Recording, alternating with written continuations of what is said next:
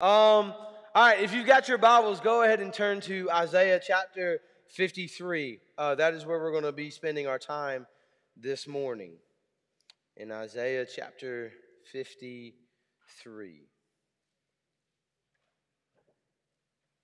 Mm. Uh, and the title of this morning's message, if you if you like to take notes, if you want to take notes, uh, the title of this morning's message is "Future Hope," uh, because as you'll see in this mo- in the passage for this morning, Isaiah is prophesying uh, the hope that's to come in the death and resurrection of Jesus. And so, as we look at this this morning, that is the title of our message: is "Future Hope." Uh, I hope you all had a fantastic week. Last night, I had the privilege uh, to be a part of uh, a really close friend's wedding. Um, I wasn't his best man, but I was second to best man. Uh, so I'll kind of take it, but it, it is what it is. Um, some of y'all may know him. Uh, Josiah got married yesterday. He was an intern here two years ago uh, as he was finishing up his schooling at North Greenville. Um, and so he got married yesterday, and it was. Um, it was a great time. And, and I love weddings. Number one, free food. Who doesn't love free food? Uh, number two, free dancing. Who doesn't love free dancing? Uh, and number three, um, there's just so much happiness and joy uh, that comes with a wedding. Uh, and, and everybody's smiling and everybody's taking pictures, and, and we all love it. Um, and a big thing for weddings uh, is that it resembles our relationship with the Father. Um, because we see many times in Scripture that we are called the bride of Christ. And so, spiritually speaking, our relationship with Him is an eternal one. Just like when you choose the person that you're going to marry and you say, I do, like you're, you're stuck with them forever.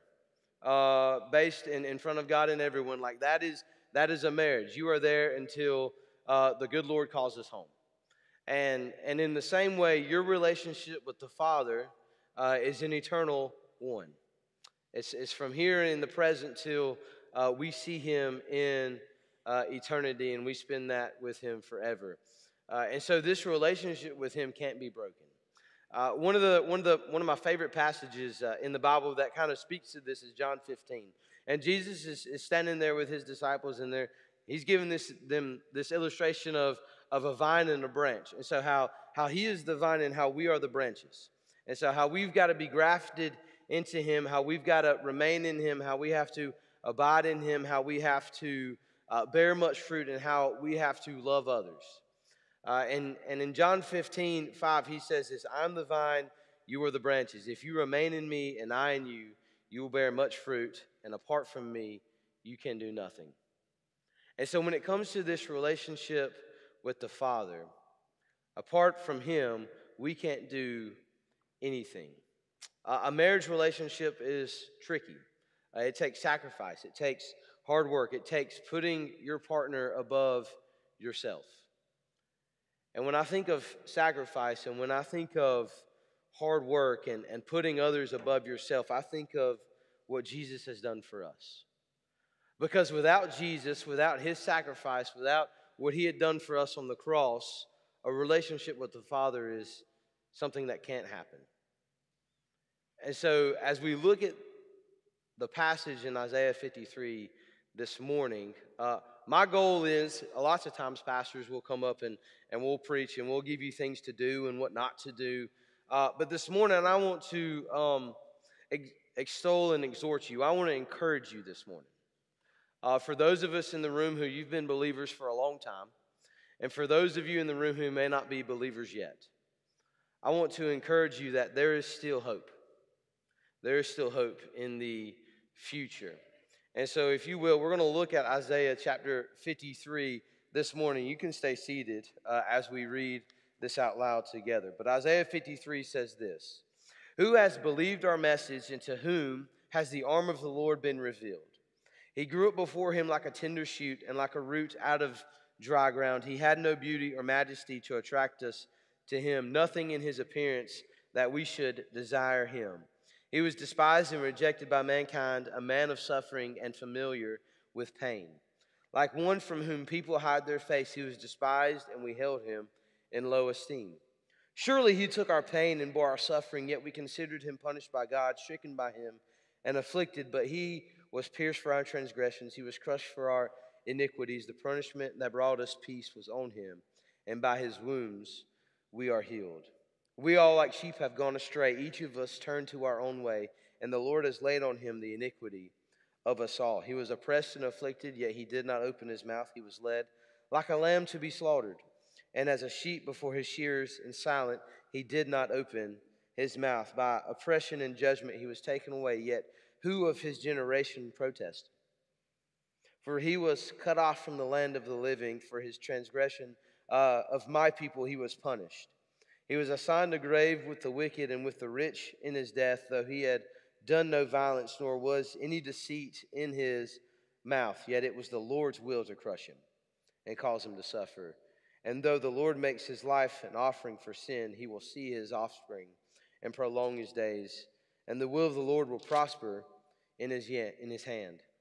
After he has suffered, he will see the light of life and be satisfied by his knowledge. My righteous servant will justify many, and he will bear their iniquities. Therefore, I will give him a portion among the great, and he will divide the spoils of the strong because he poured out his life unto death and was numbered with the transgressors. For he bore the sin of many and made intercession for the transgressors. Lord, I pray for my message this morning. Lord, I pray that as we as we open this up, Lord, as we expound on what Isaiah 53 is trying to teach us uh, and is trying to make us look at, Lord, I pray that your words uh, would speak through me. Lord, would we get something from this morning? And Lord, we'll be able to apply it to our lives and take it out into the world with us. In your pray. Amen. So as we as we look at this, um, and as we read Isaiah chapter 53, nothing of this sounds like hope. Because all you see is that that there was this person and he was led to be slaughtered and he was killed and he was put in a grave and he uh, had to carry the sins of a lot of people. Like nothing sounds really good about what we've just read. But a freest life is a life lived in Jesus. And when we understand that freedom is found in Jesus, we can understand that freedom isn't really free, is it? Because if, if we're going to be free, if we're going to live in Jesus, it comes at a price. And we see that this price is the life of Jesus. And so before we begin, hope has a price. Your hope, my hope of eternal life, of, of living with Jesus and living with God forever, it has a price. And so this morning, we're going to look at this future hope that is found in him. So if you're taking notes, number one, by the way, there's alliteration, so there's going to be uh, P's in every one of this. And so, number one, there's power in suffering. And so, when it comes to our hope, when it comes to the future hope that, that is to come because of what Jesus has done for us, there's power in suffering. And we see it in starting in verse 1 um, if you will. It says, Who has believed our message, and to whom, if you want to circle this, has the arm of the Lord been revealed? Uh, at the close of chapter 52 in Isaiah, um, the prophet foretells the Gentiles' response uh, to the gospel. Uh, nation and kings will bid it welcome, so they're going to welcome it uh, into their lives. Um, those who have not seen it, they're going to believe it. Uh, and even though they don't know the gospel grace of Jesus yet, they will give it its due weight and consideration. And so we see that at the end of chapter 52. And here at the beginning of chapter 53, the author turns to the Jews. All right, and so, so as you're looking at this, you've got to understand that the Gentiles were people that should not know who Jesus is. They weren't raised up in religion. They weren't raised up uh, under the Abrahamic covenant. They don't know any of what God's done for them. They don't, they don't recognize his faithfulness of what he's done. And so that's the Gentiles in 52. And then in 53, we look to the Jews who should know this. They should recognize what God's done for them, they should remember his faithfulness. And as, as we look at it and as we're going to read it, obviously, when it comes to the New Testament, and when it comes to when Jesus is here on earth and he's, he's doing miracles and he's teaching the gospel and he's teaching about hope and he's teaching about all these things, the people that should know who he is have forgotten him. And Isaiah foretells it right here in chapter 53. But even for those who have forgotten, there's still hope. And Isaiah lets them remember it. And so, a few things. Suffering leads to salvation of the world. We've, we just read about it in chapter 53. Suffering leads to salvation, but many would reject the suffering servant.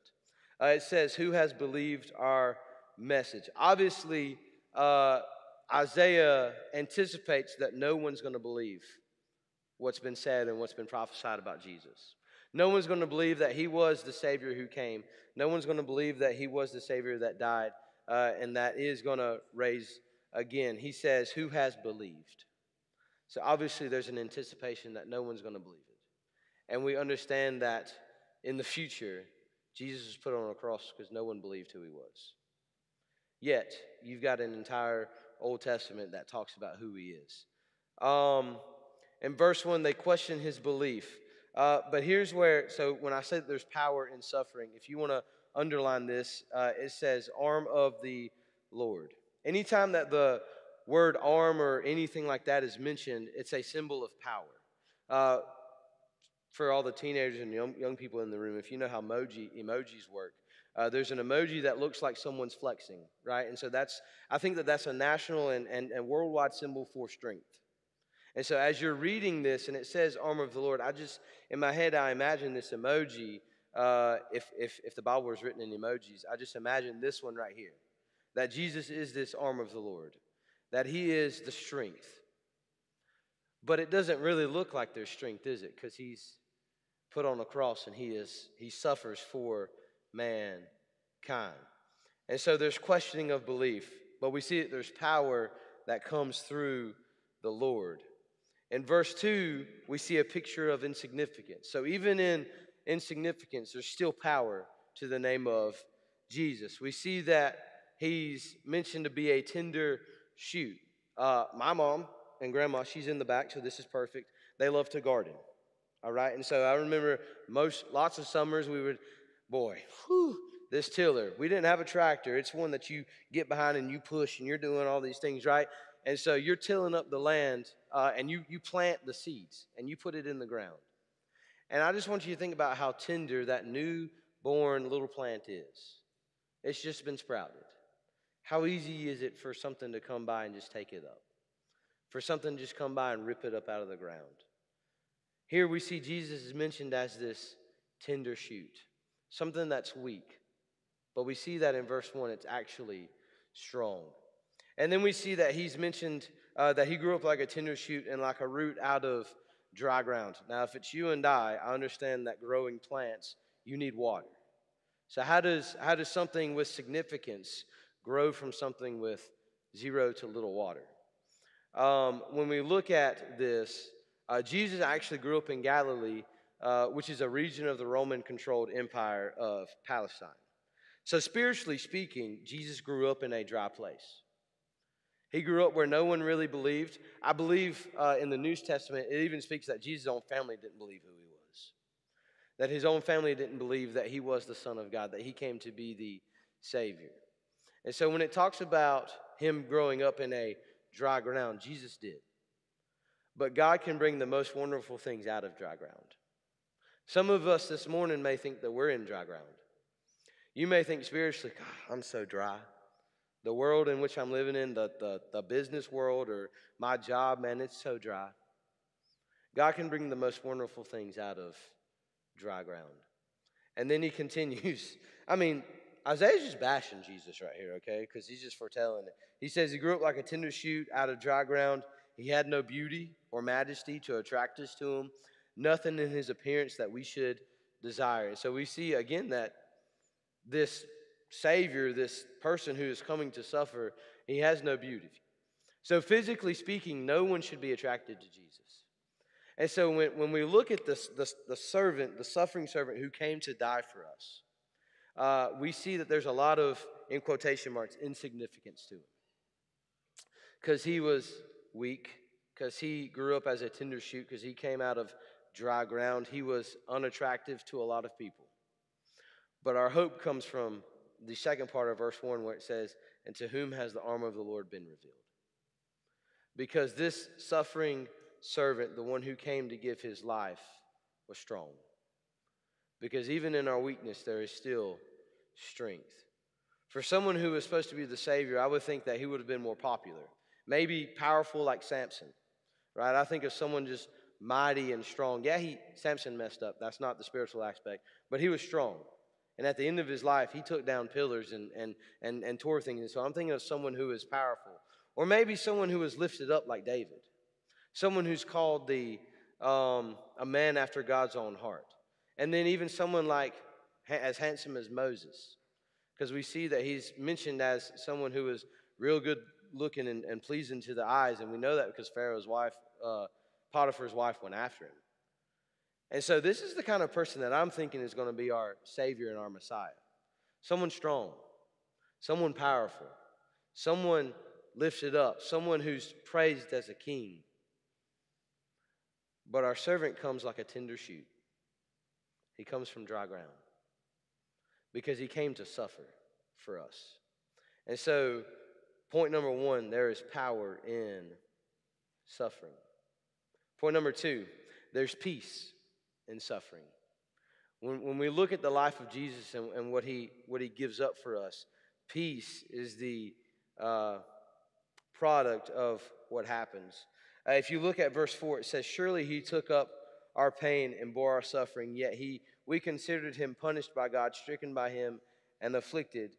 But he was pierced for our transgressions, he was crushed for our iniquities. The punishment that brought us peace was on him, and by his wounds we are healed.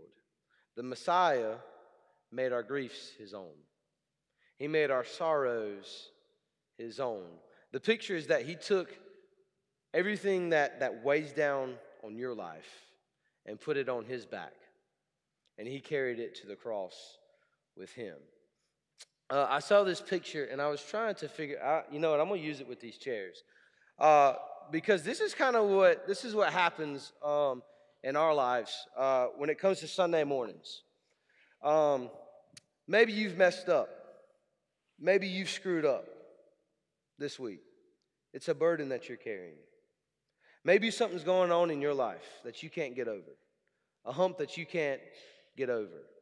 And it's a burden. And, and, and we walk in the doors of this church and we act all hunky dory all the time and we smile and we say, "Hey, how are you doing?" And we always lie because we always tell them we're doing really good, and you know it's good to see them, but maybe you don't want to see them at all. Like this, like this is how we come into church most Sundays, with the burden strapped on our backs. And in and in Psalms, it tells us that when we come to this place of worship, we should lift up our hands. But how can I lift up my hands in worship of the Father when I've still got burdens being carried by myself? And so it's this picture of when Jesus comes and, and he carries our burdens, he takes them from us. And all we've got to do is lay them down so that we can worship him fully. That's all we got to do. But sometimes we like to just carry them. Sometimes we don't like to be open with those around us. Sometimes we don't want people to know what's going on in our lives. The Christian life is tough. The Christian life is hard. And God calls us just to lay down our burdens, just to give our griefs and sorrows over to the Father. And He's going to carry them for us. Griefs dig graves, and that's what Satan wants. Our griefs, your griefs, your sorrows, it digs us in our own grave. And those are hard to come out of until we ask Him to give us a ladder to, to climb out of it. And that only happens when we give our griefs over to Him. We see in verse 4 that He took on our pain, that He, pour, that he bore our suffering. Yet we considered Him punished by God, stricken by Him, and afflicted. Christ carried our pain and suffering. He suffered in my place. Peace is a product, product of His obedience, not mine. The peace that I can have, the peace that I have because of my relationship with the Father, is nothing that I've done. It's only because of Christ's obedience to what God called him to do. Uh, and healing is found in suffering. He was pierced for our transgressions, he was crushed for our iniquities. The punishment that brought us peace was on him, and by his wounds we are healed. The healing of a sinner is not found in him or herself, who they are, what they've done, what they feel, what they vow, or even what they promise. The healing of a sinner is found in the stripes across the back of Christ. Healing is found in the blood that was shed. Healing is found in the humble sacrifice of Jesus Christ. Peace is found in suffering. Maybe not, it's not your suffering. I need us to understand this. Peace is not found in you suffering or you giving up or you doing something. Peace is only found because of Christ's suffering. And that's where healing is also found. So there's power in suffering, there's peace in suffering, and don't don't get me wrong because I'm going to explain this one in a second. There's prosperity in suffering. There's prosperity in suffering. If you want to get this, understand this. The suffering of the servant was ordained by the Lord. We see in uh, verse 10 that it says, Yet it was the Lord's will to crush him and to cause him to suffer. Uh, I, I can't go into every detail of this um, theological point, but here it is Jesus Christ was always plan A. When God created the earth, Jesus was plan A. Before Adam and Eve ever sinned, Jesus Christ was plan A. A lot of us may think that he was plan B, that he was sent because of our sin, that he was sent uh, for all these things, but if, if the will of the Father was to crush him, then we know that it was always plan A. And so Jesus was sent to suffer. Even when the Israelites performed sacrifices in the Old Testament, Jesus was plan A. It was the Father's will to crush the Lord. The suffering of Jesus made grace sufficient. The suffering of Jesus made grace sufficient because we see in the Old Testament that when they messed up or they screwed up or it came to that day of having to give sacrifices like we've read a thousand times in our CBT, uh, we knew that they always had to do it again and do it again and do it again. Grace wasn't sufficient in those. When Jesus came to suffer, grace became sufficient. The sacrifice of Jesus was not the end, He lives. Uh, it says, Yet crushed cause him to suffer, and though the Lord makes his life an offering for sin, he will see his offspring and prolong his days. And the will of the Lord will prosper in his hands. He's going to see his spiritual descendants. Jesus is alive today, so we know that he's going to see him. Uh, his days have been and will be prolonged, and he's no longer, and we are no longer under the curse of death. Jesus lives. And when I, at the beginning, when I said that there's prosperity in suffering, it's not our prosperity, it's Christ. It's Christ because we see that through it comes eternal life. Pros- prosperity is found in a relationship with God, not in materials given by God. You will only prosper in relationship with the Father. Yeah, you might have good, a nice house, or a good car, or a nice family, or some land or whatever, but that's not prosperity. Prosperity is found in relationship with the Father. The suffering of Jesus only brings him more glory. Philippians 2 10 through 11 says this that, the name, that at the name of Jesus every knee should bow, of those in heaven and of those on earth and of those under the earth, and that every tongue should confess that Jesus Christ is Lord to the glory of God the Father. Jesus gets the glory. When it comes to his suffering, when it comes to us putting our faith in that and having relationship with him, he's the one who ultimately gets the glory, not us. And so when I say that there's prosperity in suffering, it's not for us. Jesus is the one who prospers. We just reap a little bit of the benefit by having relationship with him. And so how do we how do we apply Isaiah 53 to our lives? Number 1, you can have hope. When it comes to reading about the suffering servant and all that he's done for us, you can have hope. But remember, it comes with a price. Your hope for the future, your hope for eternal life, it comes with a price. Jesus came and suffered showing Christ's most undefeated power. Jesus came and suffered to offer us peace. Jesus came and suffered so that we could live in eternity. He took on our sins, He took on our griefs, He took on our sorrows. He paid the price. He atoned for the sins that we deserve to pay for. And we don't deserve it, yet we can have it. So, two questions for us in here this morning. Number one, have you put your faith and trust in Jesus? Have you put your faith and trust in Jesus? Because he came to die and to suffer so that we could live for eternity, so that we could have hope for the future. Have you put your faith and trust in him? And then, number two, does your life reflect what Christ has done for you? Does your life reflect it? Whenever you leave church, whenever you go home, whenever you go to work on Monday, does your life reflect the hope that you have?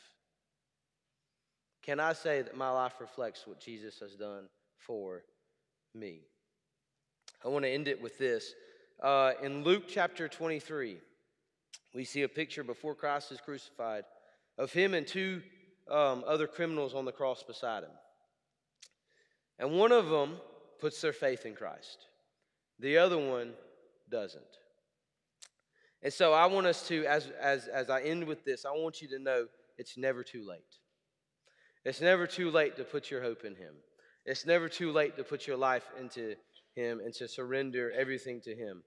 Uh, Luke 23, 39 through 43 says, One of the criminals who hung there hurled insults at him. Aren't you the Messiah? Save yourself and us. But the other criminal rebuked that one and said, Don't you fear God? He said, Since you are under the same sentence, we are punished justly, for we are getting what our deeds deserve. But this man, he did nothing wrong. Then he said, Jesus, remember me when you come into your kingdom. Jesus answered, Truly I tell you, today you will be with me in paradise. There's still time. Let's put our hope and our future hope in what Christ has done for us because he suffered. There's power in suffering, there's peace in suffering, and there's prosperity in suffering.